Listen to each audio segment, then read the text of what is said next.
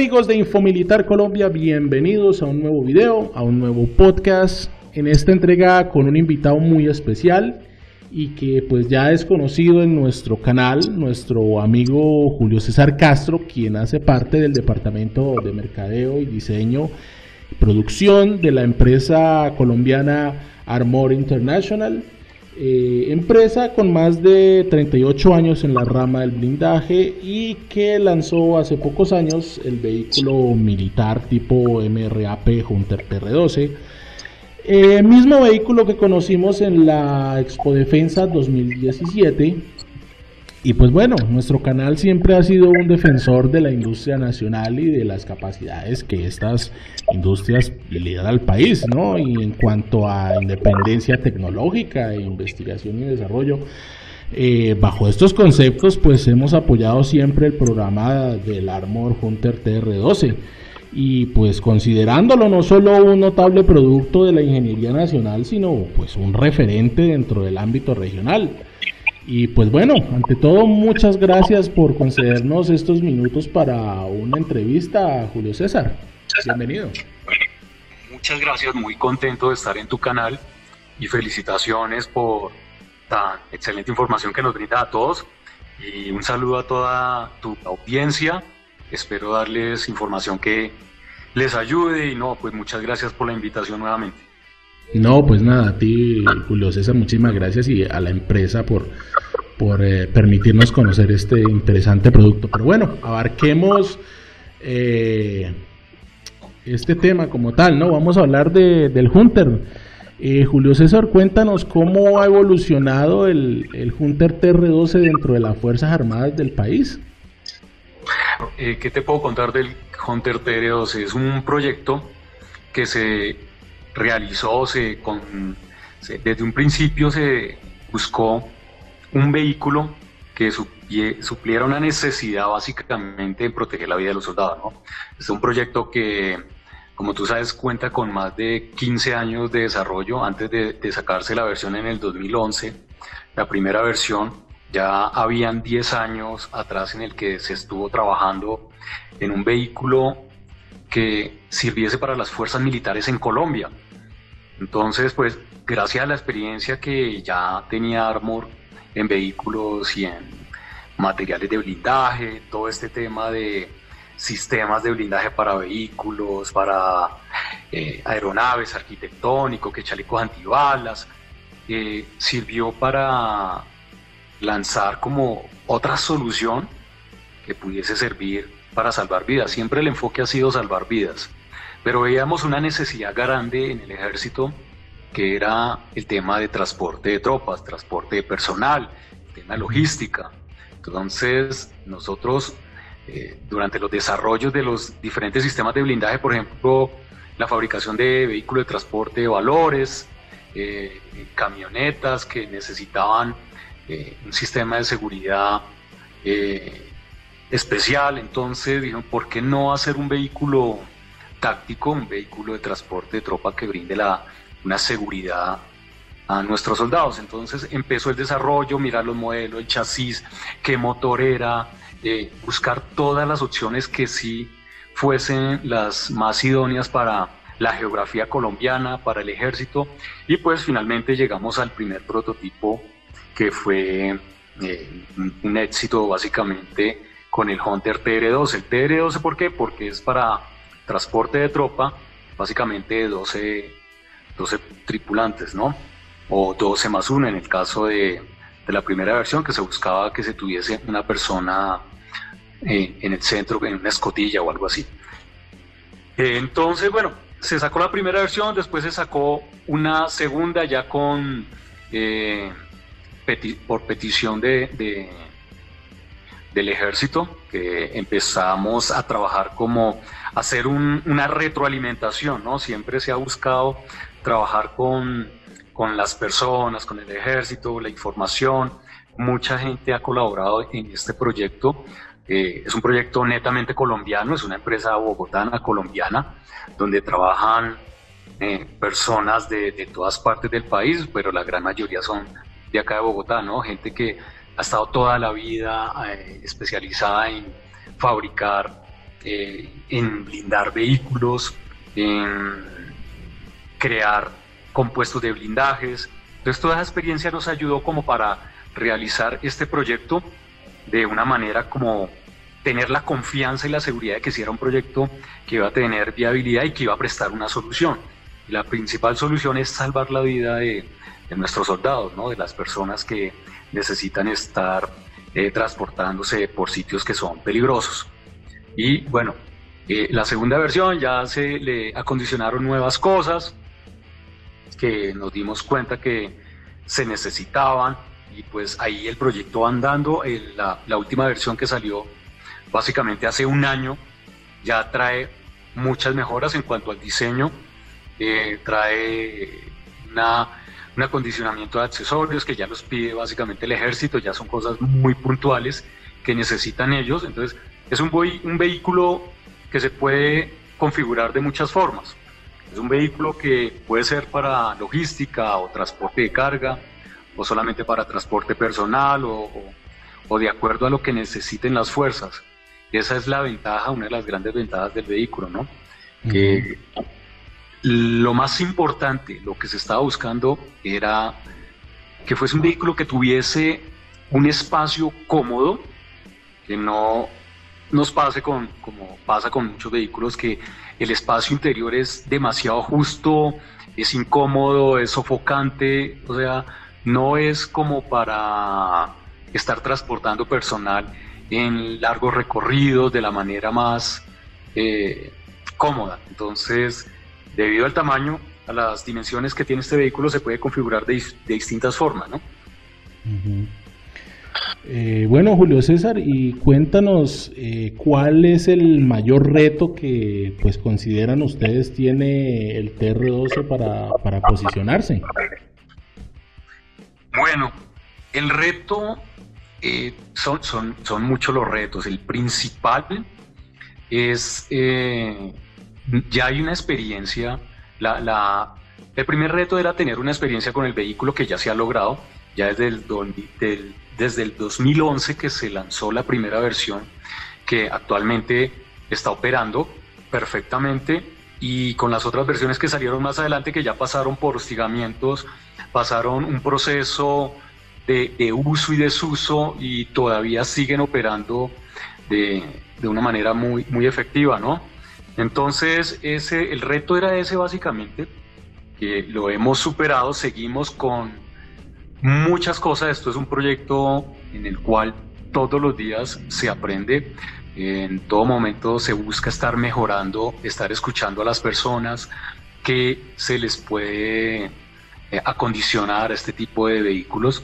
Pero el reto era, el, principal era saber si esto sí le iba a servir realmente a la tropa, pero desde un principio se concibió con la seguridad, con la certeza de que sí le iba a servir, porque todos los años de investigación que se realizó, como ese feedback que se realizó con personal del ejército, personal que ya tenía mucha experiencia dentro de la compañía, entonces nos daba como una confianza de tener un vehículo que sí iba, sí iba a tener mm, un uso y que iba a perdurar en el tiempo.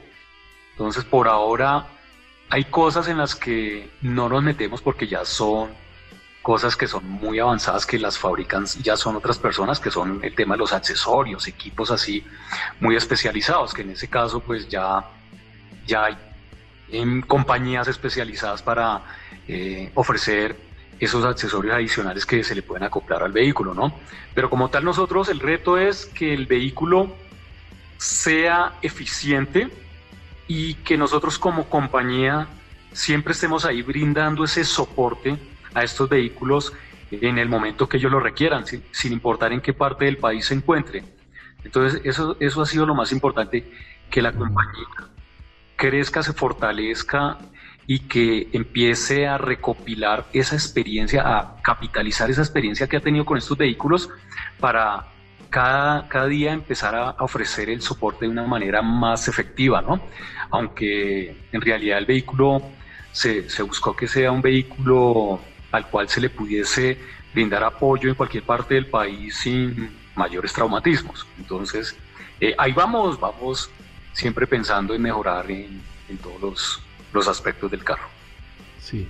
Eh, me parece interesante lo que dices y hago una pequeña anotación ahí de que pues estamos hablando de que pues ya es un vehículo probado en, en combate, ¿no? Por lo que tú afirmas de los impactos que ha recibido. Correcto, sí, ese era uno de los principales, ¿no? Que pasara la prueba, porque siempre las preguntas, pero esto, ¿qué aguanta? Pero esto sí resiste minas, pero esto sí resiste tal cosa. Entonces, pues el carro está diseñado, obviamente se le hicieron pruebas en conjunto con el ejército, pruebas balísticas en, en, a los materiales, siempre se tienen que estar haciendo pruebas balísticas a los materiales. Entonces, esa prueba se superó, gracias a Dios, no, no hemos tenido eh, malas noticias con, con altercados con este tipo de vehículos. Entonces, eh, obviamente, no existe un sistema de blindaje que, que, proteja, o sea, o no existe un vehículo que proteja totalmente a la tropa. Eso es algo que en el día a día, en el mundo actual que vivimos, siempre salen con cosas nuevas que, imagínate, tú no sabes contra qué protegerte con, con las cosas que salen muchas veces, pero sí lo que se busca aquí es brindar una protección mínima al, personal, por ejemplo, que, que, no vayan descubierto y que por lo menos sí puedan resistir a impactos de armas largas y que ellos puedan defenderse, puedan reaccionar, que no los agarre por sorpresa, que sean vehículos eh, que tengan, eh, que sean versátiles, que puedan reaccionar, que puedan salir de la zona y que lo, principal es que proteja la vida de sus ocupantes, ¿no? Eso es básicamente. Claro, primordialmente. Y bueno, eh, ¿Qué oportunidades de negocios ven a nivel internacional para el, para el Hunter TR12? Bueno, este es un vehículo que ha gustado mucho a nivel internacional. Mm, toca manejar estos temas con mucha prudencia porque hay muchas cosas que afectan eh, que el vehículo tenga buena salida o no. Hay el tema de aranceles, el tema del comercio, el tema de políticas de, comercio en distintos países afectan mucho, ¿no? Entonces, eh, el tema de, la producción, de tiempos, de quién lo va a comprar, hay muchos factores que implican en que el carro, el que el vehículo pueda ser llevado a otro país, ¿no? Hay, hay todavía mucha, muchos países que están interesados, pero son cosas que todavía están ahí no se han finiquitado, siguen todavía en estudio, pues, ¿qué pasa? Que en otros países también tienen el mismo proceso que muchas veces vivimos, vivimos nosotros los colombianos, ¿no? Que es el tema de que primero tiene que pasar por un ministerio, luego pasar por otro tema y que eh, hay personal encargado del estudio, entonces son procesos que son largos, no son inmediatos, entonces muchas veces... Eh, en, este caso, por ejemplo, la competencia es bastante fuerte con otros países que también fabrican vehículos tácticos. Entonces, eso está sobre la mesa porque eh, debido a la cantidad de competidores que hay, eh, muchas veces los procesos se demoran y en algunos casos también el tema de que hay, países que tienen influencia fuerte sobre otros países, entonces tienen preferencias para por, por encima de, por ejemplo, en el caso de nosotros, ¿no? Que somos una empresa que apenas está, como el quien dice, no, no tiene no tiene la experiencia internacional en vehículos tácticos como si de pronto la tienen empresas poderosas de otros países europeos o americanos. Entonces, eh, para nosotros el vehículo perfecto es, es, es algo que para el caso colombiano le sale a un precio muchísimo más económico y en cuanto a prestaciones es mucho más efectivo. Y la experiencia que ha tenido pues le ha ayudado a que se posicione bien. Pero eso muchas veces para ofrecerlo en otros países es un poco complicado, es difícil porque el peso de las otras compañías es mucho más fuerte. El lobby, el tema de gastos es impresionante. Entonces, eh, pensemos que este Armor International es una compañía colombiana, pero es una compañía pequeña, ¿cierto? Pues que tiene una experiencia prácticamente más de 40 años, pero no tiene un capital como el que sí tienen empresas extranjeras que pueden darse en el lujo de realizar un, acompañamiento en muchos países con eh, personal de ventas, con personal de, de técnicos y todo este tipo de cosas. Entonces, esa parte, por esa parte sí nos dejan a nosotros pues votados, ¿no? Entonces, eh, pero aún así muchas personas han visto la trayectoria del vehículo y dicen, no, este vehículo sí les puede solucionar a ellos lo que están buscando. Entonces todavía están pendientes esas, esas propuestas, esas cotizaciones que se han enviado. Entonces, pues esperamos que nos den buenas noticias. Todavía esto es de mucha paciencia, ¿no? Acá en Colombia llevamos 10 años esperando de que el vehículo se tenga en cuenta fuertemente. Eh, ya muchas personas lo han conocido. Promocionar un vehículo de esto requiere de un músculo financiero bastante fuerte.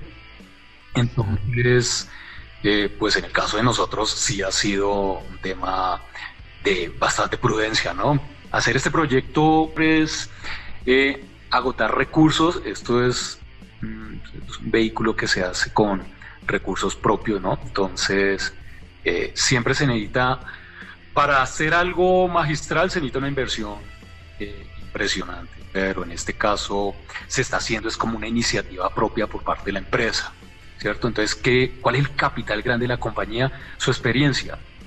Y eso es lo que se ha desarrollado actualmente. Ajá, bueno, sí, efectivamente. Y bueno, Julio César, cuéntanos, eh, ¿existe o hay en el momento algún interés por parte de otros cuerpos de seguridad estatal o privados por, por este vehículo?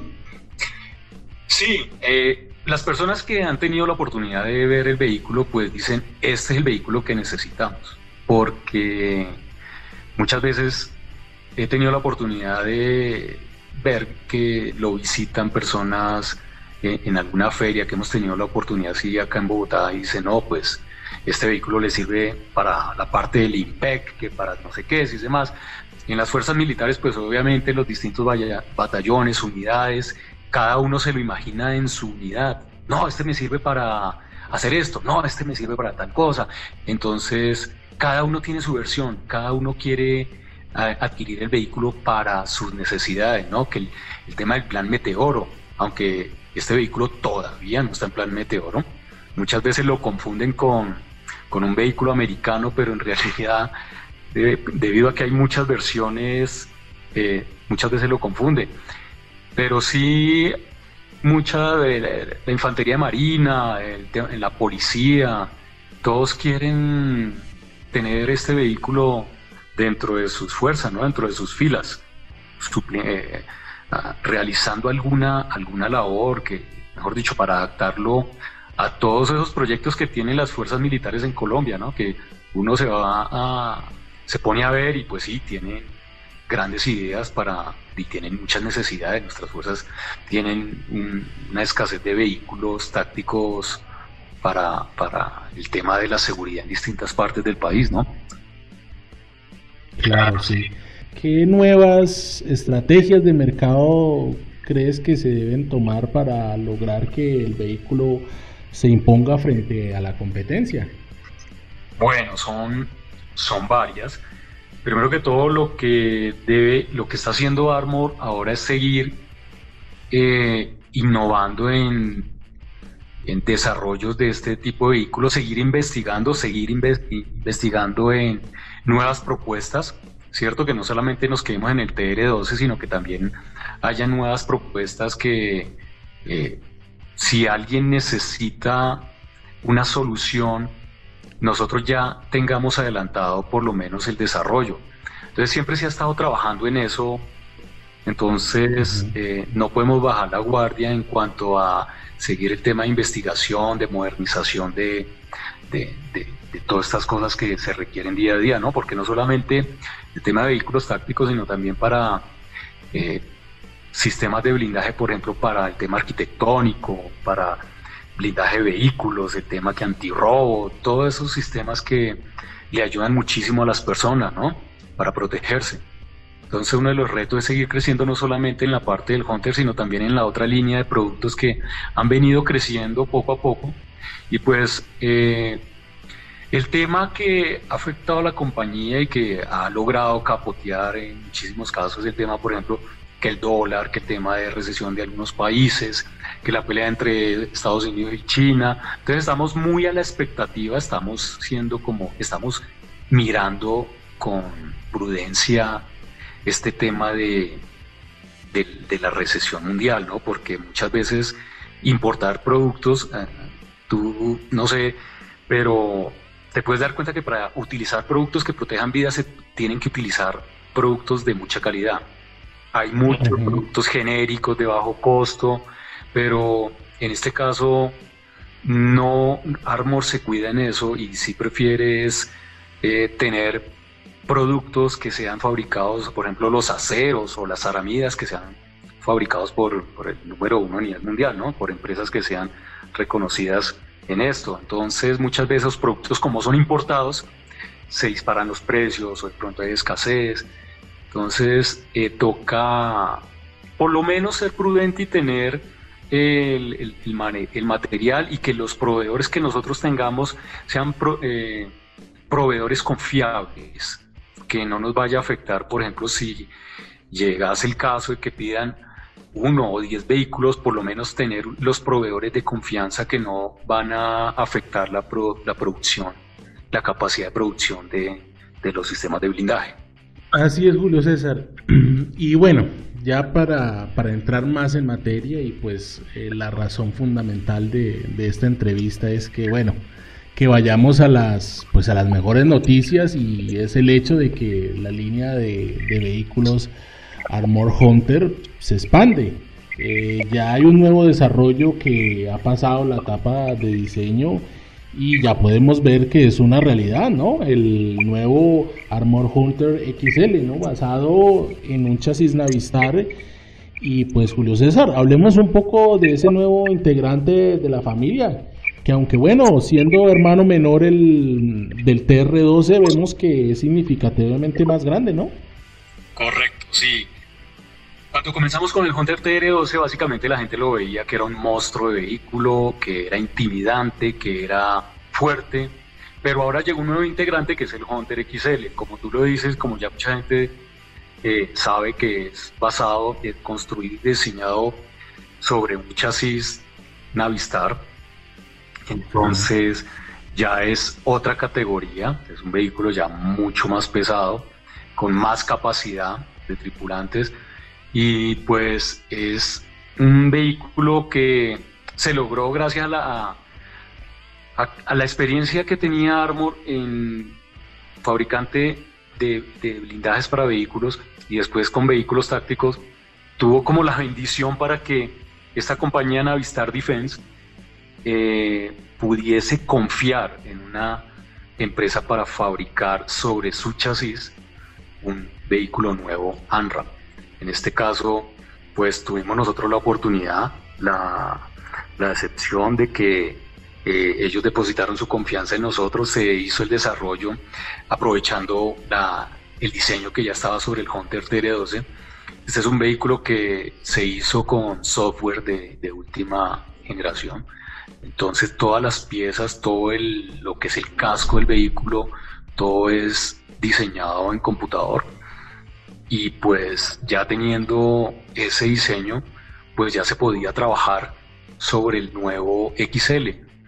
Y pues e, estaba esa gran ventaja, ese gran capital de poder realizar esta gran obra. Realmente es algo espectacular haber podido trabajar en este chasis, porque e, es, es la exclusividad. Yo creo que Colombia es uno de los pocos países en el mundo que tiene la oportunidad o el permiso para fabricar sobre un chasis de estos un vehículo táctico. Como tú sabes, el vehículo de Navistar Defense, este, este, este chasis es con el que han fabricado los vehículos tácticos para el ejército más grande del mundo. Entonces, si alguien va a decir que esto no sirve, pues entonces el ejército más grande del mundo se equivocó en usarlo. Entonces, por eso nosotros teníamos como la confianza de decir, bueno, es un proyecto, es, un proyecto magistral. Se logró hacer, se hicieron las pruebas, eh, la capacidad que tiene es grandiosa, eh, se puede configurar para 18, 16 eh, ocupantes se puede configurar para, mejor dicho, ahí sí ya el ejército, las fuerzas pueden decir, no, mira, sabes que esto realmente tiene que tener tanto o, lo que sea, y se puede hacer porque el vehículo, los diseños permite reconfigurar el vehículo, ¿no? Sobre ese diseño que se trajo del Hunter TR-12. Se dieron cuenta que el espacio como tal del Hunter TR-12 no lo tenía otro vehículo. Entonces dijeron, no, pues ya hay un diseño, acoplémoslo ahora al al nuevo chasis de Internacional y saquemos el XL. Pues fue, fue grandioso ya después tener el proyecto ya terminado y pues vamos a, ver cómo, cómo nos va, ¿no? Ahí está el vehículo, sí. ya las fuerzas militares lo vieron, eh, la policía, y estamos a la expectativa. Esto es un proyecto, es un vehículo del cual no se puede hablar mucho, pero la gente ya, eh, ya, ya puede ver las fotos en las noticias que se han publicado en, en, algunos canales. Entonces igual, igual forma es un vehículo que es de información de seguridad nacional, entonces no se puede, eh, nos toca a nosotros ser muy prudentes con la información de, del vehículo, ¿no? Aunque en una foto pues no hay mucho que esconder, más que todo es como el espíritu, el alma del vehículo, su motor, como si, su, su esencia, son cosas que deben ser protegidas pues porque son requerimientos de, de la misma empresa Navistar Defense, ¿no? Entonces, en ese caso, pues, pues sí nos toca ser prudente. El caso es que es un vehículo de los que hace también parte de, del primo hermano de los, de los que están en Afganistán, desplegados en el Medio Oriente, en el que pues ya experiencia sobra eh, con lo que les ha pasado desde todo lo que ha pasado en el Medio Oriente el día a día ya, ¿no? Es, es una bendición poder tener un vehículo eso en, en el país para seguir con el tema de protección de vidas a un nivel de blindaje mucho mayor, un blindaje superior. Y pues eh, ya pronto lo, podrán tener, mejor dicho, más información del vehículo, aunque en realidad eh, las personas que lo han visto quedan eh, enamoradas del vehículo. No falta uno que otro que dice que es que el vehículo no sirve, que es mejor andar en reos, ¿no? Porque es que son cosas que uno dice, es, es normal el día a día pero eso, eso se lo encuentra uno en el camino por todo el tiempo, entonces pues, pues no, nada, eh, lo importante es que el desarrollo se hizo, es un privilegio, es un orgullo como colombianos poder desarrollar este tipo de, tecnología, este producto, este tipo de diseño, ¿no? que lo podamos hacer nosotros con la calidad con la que actualmente se está manejando. Claro que sí, excelente. Y sí, tienes mucha razón. O sea, hay que ir venciendo poco a poco esa mentalidad arcaica que lastimosamente hay todavía en muchos sectores. Pero bueno, Julio César, dinos eh, de dónde surgió la idea o la necesidad de desarrollar el nuevo vehículo, cómo, cómo ha sido su desarrollo. Bueno, esto fue, yo tengo acceso a cierto tipo de información, hay otra información que definitivamente uno no puede no puede estar divulgando por temas de, seguridad y pues no le comentan a uno pues porque muchas veces como dicen se le daña a uno, ¿cómo dices el dicho? Se le daña a uno el pan en la, puerta del horno. La puerta del horno. Eh, esto es un producto que se hace con, el ánimo de que, hombre, se necesita, nada que hacer, se necesita. Entonces eh, ya se sabía que se necesitaba, se empezaron a trabajar la, tema con Navistar ya, ya había ofrecido en cierta forma algunos modelos, pero se dio la oportunidad, fueron cosas que salieron debido como a esa insistencia de la compañía de, de ofrecer desarrollos que realmente sí le sirvan a la fuerza, ¿cierto? Entonces fue como, como digo yo, es una gran bendición que pusieran los ojos sobre la empresa y que se pudiese hacer esto una realidad. Ya es una realidad eh, ya las Fuerzas Armadas sabían que lo necesitaban. Este es un tema que el ejército lo puede adquirir, no es un tema de que, no, esto es una nave espacial que no se puede, no, no, eso ya son temas que, y eso ya es un tabú, son vehículos que lo necesitan los países y no hay ningún problema en que el ejército pueda adquirir los que realmente necesita porque ya se pueden hacer acá en Colombia, ¿no? Y se lo merece, debe estar montado en la tecnología para seguir evolucionando como ejército, como fuerza para proteger eh, la vida de los ciudadanos, ¿no? Claro, realmente, y pues la vida de nuestra tropa que, que es pues lo más importante. nuestros hombres pues se merecen eh, andar seguros en vehículos que, que pretendan eh, salvar sus vidas, ¿sí? Y pues bueno, eh, hablemos ya de la experiencia adquirida en el desarrollo y la implementación del, del TR12. ¿Qué, ¿Qué, se tomó en consideración para desarrollar el XL?